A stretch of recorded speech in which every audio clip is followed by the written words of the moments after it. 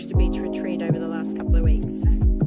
Um, I think, I mean, the whole thing was amazing. We've done so much at so many different places, but Wallaroo just had a lovely feel to it because it was sort of nature in its elements.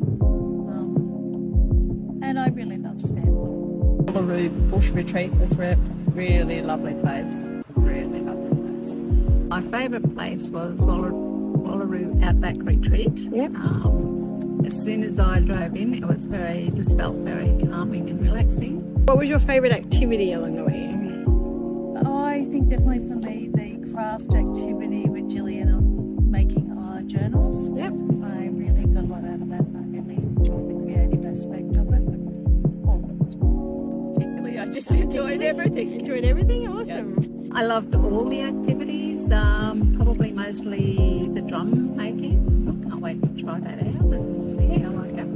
What's your biggest takeaway that you'll be taking home with you from all the workshops and meditation and mindfulness practices that we've done along the way? Um, I know that for me there was a lot of things I wanted to put aside, which I feel like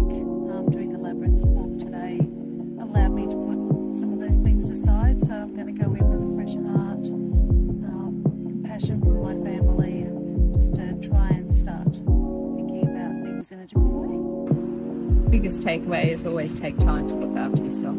I think I'll take back uh, more mindfulness and, and, and start my meditation program at home and, and bring some of it into the work uh, workplace.